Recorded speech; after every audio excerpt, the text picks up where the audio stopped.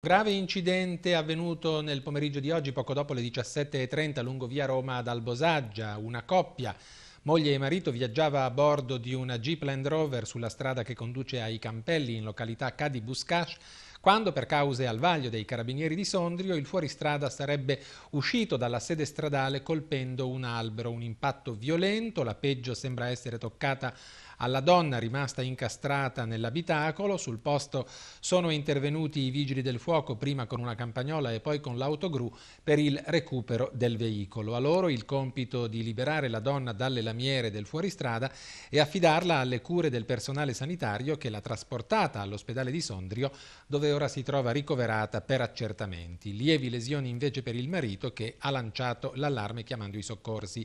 Intanto in contemporanea i vigili del fuoco sono intervenuti anche a Sondalo per un altro incidente stradale. Un'auto all'imbocco della galleria di Mondadizza ha colpito il guardrail soccorso l'automobilista che fortunatamente ha riportato solo ferite lievi.